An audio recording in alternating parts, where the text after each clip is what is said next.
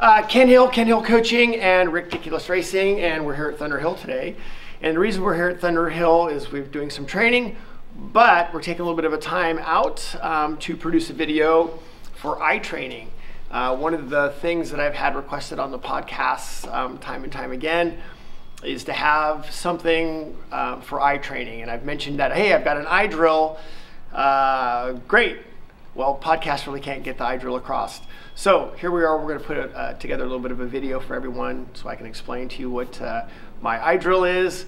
It's something that's fairly uh, easy, but let me kind of go step back a little bit and explain why we want to be doing this. And in our sport, um, we, as we go through our fundamentals, our first fundamental that I take a look at is our bike placement, but the second fundamental we look at is our vision and our vision skills, how we use our eyes. And we're finding that having proper vision skills, being able to look at your reference points, are, are, are huge thing. So, great, wonderful. Um, how do we train our eyes to look at these reference points? How long do we look at them? How do we learn to compartmentalize them? How does our focus work into it? How do we match up our motor control, all these different things with, uh, with our vision? So this drill is, is, um, is, is, very, very simple. Um, it's something that you can liter literally do 30 seconds in the morning, 30 seconds in the evening to help enhance and, and train your eyes. And that's something that I think um, people uh, underestimate is our vision skills are completely trainable.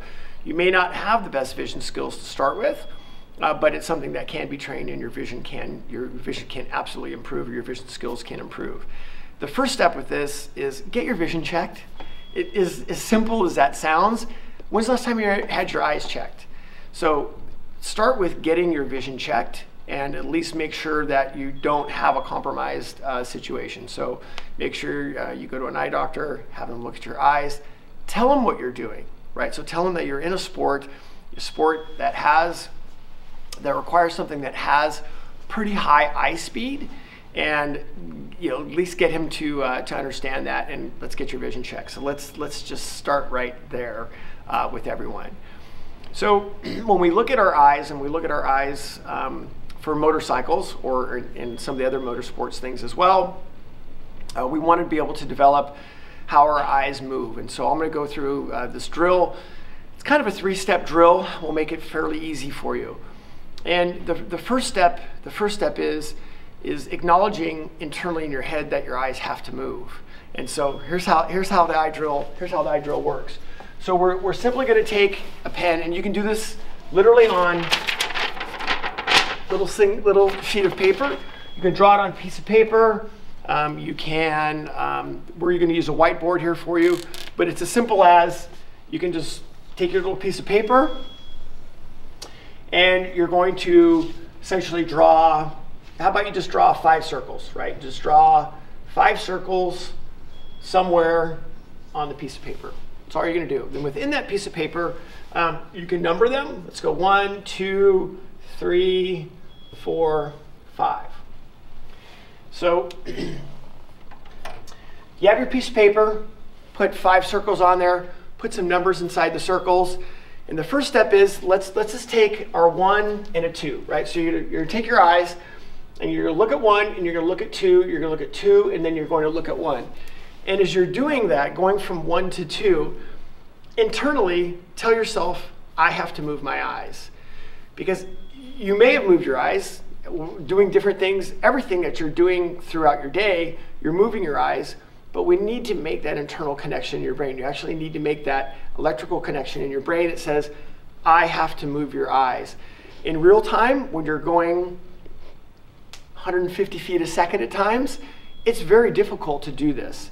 So we need to be able to tell our brain inside, I have to move my eyes. I want to be able to move my eyes from reference point to reference point. And trust me, when the rider falls down in front of you and you're fixated on him and you say, I have to move my eyes, yeah, that, that's how we have to do it. But we have to tell ourselves to do that. So the first step with this is telling yourself, I have to move my eyes. So go from one to two, two to one, and just do this and say, I have to move my eyes, right? Get your eyes to actually move and you be in control of your eye movement. So again, it's a proactive movement, not a reactive movement. So that's step one. Step two. Step two gets a little bit more involved. Uh, and this works very much in conjunction with what's going to happen out on track. Uh, and it works in conjunction with the reference re with reference points as well. So this one is we want to be able to look at each one of these dots long enough for the number to come into focus. Because if you're out on track and if you're only looking at things in your periphery, you never have intricate focus on the specific reference point. If you don't have intricate focus, then you can't react to it. You can't look at your apex and go, uh, well, uh, am I wide of it? Am I going to run up the inside of it? What's happening here? So in this case, we need to look at it long enough to be able for it to come into focus so you can go, oh yeah, I am going to be wide. I can use more brake pressure or I'm going to I'm going to be shallow or whatever whatever it may be. So looking at the reference point long enough for it to come into focus. So the way this works is look at one, look at one, and let the one come into your focus. So look at one, great, I got it. Go to two, let two come into focus. I've got it. Five, let five come into focus. Go to four, I got four, right? And you can run these in any order you want, it doesn't matter. As long as when you're moving your eyes, you let that number come into focus. So the second step of this is being able to look at those dots and be able to look at them long enough, right, for the number to come into focus so you can see them so you can react to them. And it's exactly what we're going to do out on track. You need to look at your turn-in reference long enough to make sure you have it, to make sure it's coming, coming into your vision. You need to look at your apex long enough to make sure it comes into your vision. so that's step two. So step three is the actual drill itself. And step three is we want to be able to take our piece of paper, take whatever you're, you're writing up here, and you're going to do this and you look at the one, you look at the two, two, one, and you can do this in random order start doing this, just, just do it for 10 seconds, right? Just nothing else in your mind but looking at these reference points and looking at them five, four, three, two, right? Looking at them that way and let them come into your focus. Try it for 10 seconds, try it for 15 seconds, and try to work your way up for 30 seconds without having another thought come into your head. That's really the hard part is because it's very easy to get unfocused during this drill. The cool thing is, is you'll find that when you do this drill, if your vision is engaged, your focus is engaged. That's really the key. If you're looking at one and you go to four and then you're thinking about um, what kind of coffee you're going to have in an hour, right? Then, right, we don't, we need to have a, more of a focus on that. So this drill helps you stay focused. It's, it's just as much as an eye drill because remember what I said. If your eyes are engaged, your focus is engaged. If your focus is engaged, then your technique is engaged. So step one, right, we got to tell our eyes to move. Step two, we have to look at each one of these numbers long enough for them to come engaged, to, to be engaged with you, right, be, to be in your focus. And then the last step, step three, is you can start running some time on these and some drills. So one, two, two to one, one to three, or one to five, five to four, four to five, three, four, five, two, one, right? And just keep working that back and forth. And it's as simple as doing something like this for, again, 30 seconds in the morning, 30 seconds in the evening. And you'll be very surprised at when you do this, suddenly, once you get it right, you're not thinking about anything else. You're only thinking about your specific reference points. And that's exactly what we want to be able to have on track. We want to be able to only be focused on our brake application marker. We want to be only focused on our turn-in reference. Because if we're only focused on that particular reference, we're able to give 100% of our attention to it, which means we can give 100% of our technique to it. So if you're going into a corner and suddenly you're, you're looking for, you're, you're not engaged to your turn-in reference and you're thinking about the exit, you're not gonna do a good job of your turn-in. Or you're not gonna do a good job of where your brake release point is. So we wanna be able to have that intricate focus and we wanna be able to have that training for, focus for it. So the eye drill is training your eyes to move. It's training them to look at a specific reference point for a specific amount of time.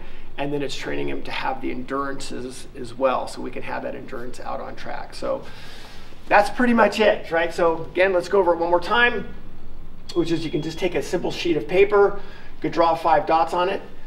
Don't don't make it complicated. Don't draw 17 dots. Just draw five. That's all that's all you need. Make it very, very simple.